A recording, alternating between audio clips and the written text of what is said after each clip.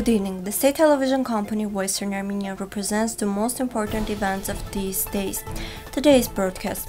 The National Assembly of the Republic of Western Armenia will hold its second session of the fourth convocation. Monument expert Samvel Karapetyan's brother killed during the war. Artsakh settlements under Armenian and Azerbaijani control updated map. 1,500 residents returned to Martuni. Infrastructure restoration is underway. A report on Turkey will be prepared in which the issue of Artsakh will be studied. Merkel. The case of the beheading of an Armenian old man will be included in the European Court of Human Rights application. Sahabe Hill in Tigranakert is declared a protected area. According to the decision number 28, the President of the National Assembly of the Republic of Western Armenia has the honor to invite you to the second session of the fourth convocation of the National Assembly of the Republic of Western Armenia. The session will start on December 19 at half past 9 a.m. Below we present the agenda of the meetings. For December 19, 2020, submit and approve the agenda of the meeting. Submit and approve the candidates of the Parliament to vote on new executive resolution for the current year and to vote on possible changes in the new internal regulations. Appoint new ministerial posts in the government of Western Armenia.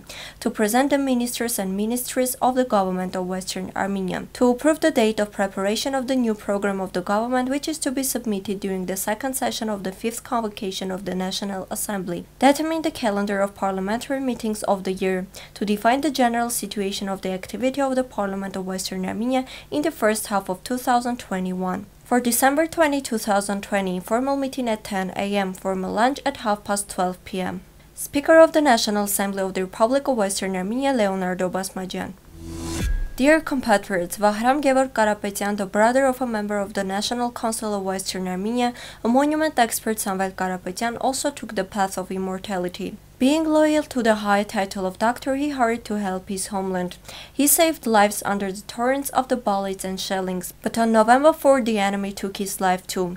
President of Western Armenia Armenak Abrahamian, on behalf of the government of Western Armenia, expresses his deep condolences to Vahram Karapetyan's family, relatives, and friends on the occasion of his untimely death.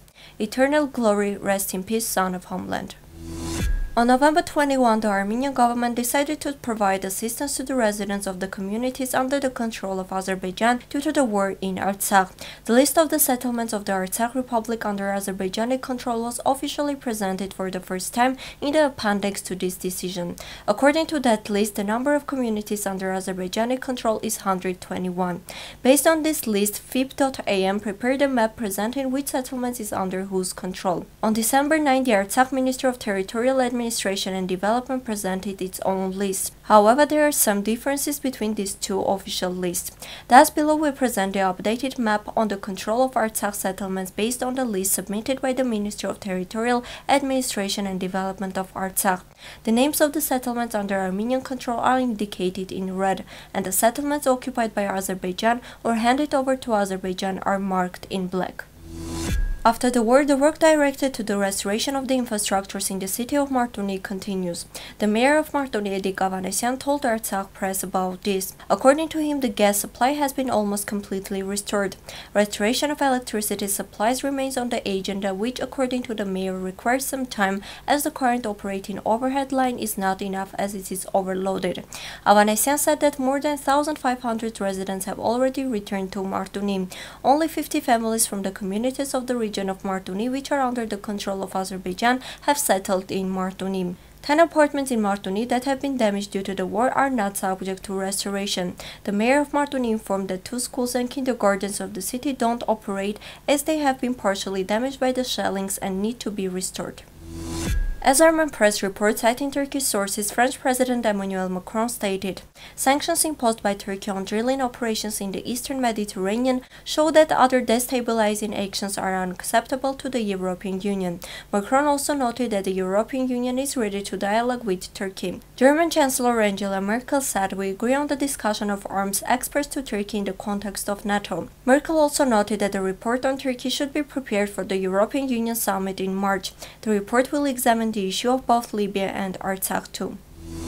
Yeghishe Kirakosyan, the representative of the Republic of Armenia in the European Court of Human Rights, told Sputnik Armenia that out of 66 Armenians who were treated inhumanly, Azerbaijan has confirmed the fact only 15.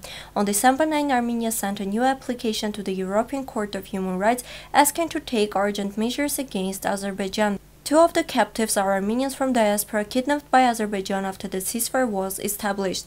There are people about whom we have information from various sources that they are there, and on the basis of that evidence we have submitted our request, said Kirakosyan. According to him, this is the only one of the last 15 cases that took place after the ceasefire was established. The others are people taken from communities under the control of Azerbaijan. One of the two terms given to Azerbaijan regarding some of the captives ended yesterday, the other ends today but Armenia has not yet received Azerbaijan's answer. Most of the 66 people registered in the applications of the European Court of Human Rights are servicemen, only about 20 of them are civilians. Referring to the videos that appear on social media platforms which prove the war crimes committed against Armenians by the Azerbaijani armed forces, Kirakosyan said that they definitely find a place in their application. The full article is available on our official website.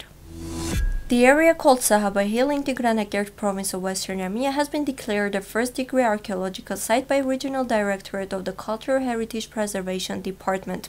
Archaeologists have already discovered a large number of cave tombs during the first conducted survey. Extensive archaeological excavations will be launched to study and discover the area's past. Archaeologists have already determined that this site should have the status of specially protected area. Now let us represent to your attention a song by Vostan Ensemble.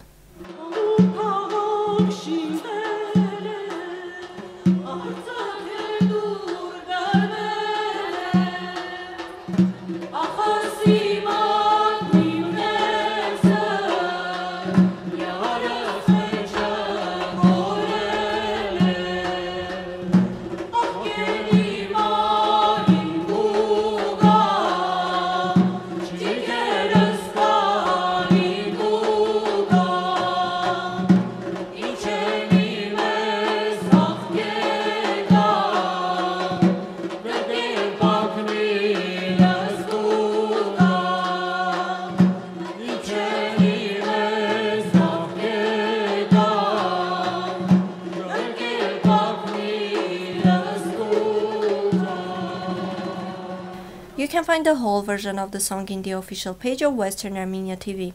This was all for today. Goodbye.